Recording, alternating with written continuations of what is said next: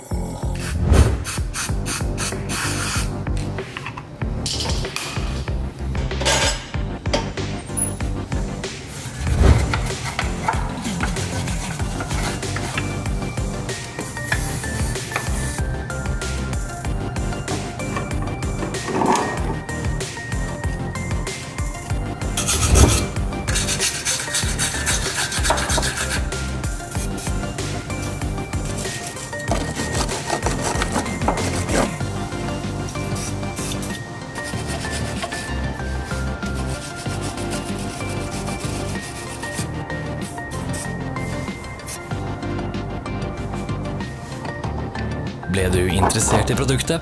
Du finner alle linker i beskrivelsen.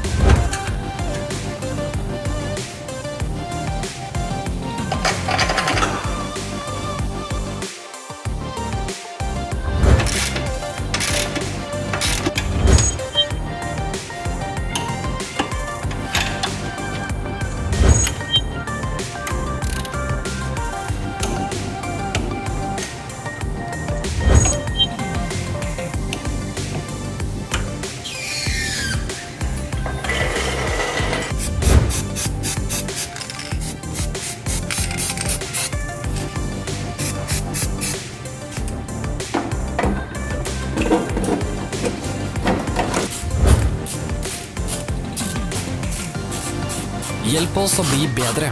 Legg igjen en kommentar.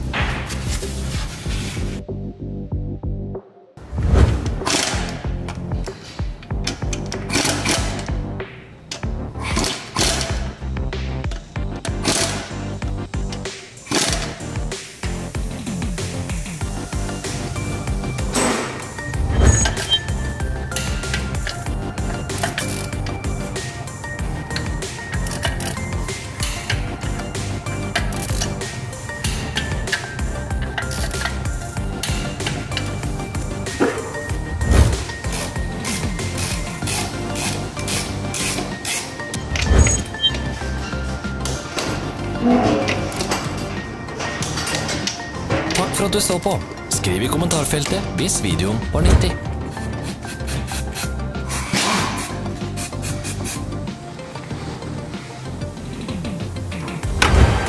Følg oss på sosiale medier. Vi er på Instagram, Facebook og Twitter. Alle linkene er i beskrivelsen.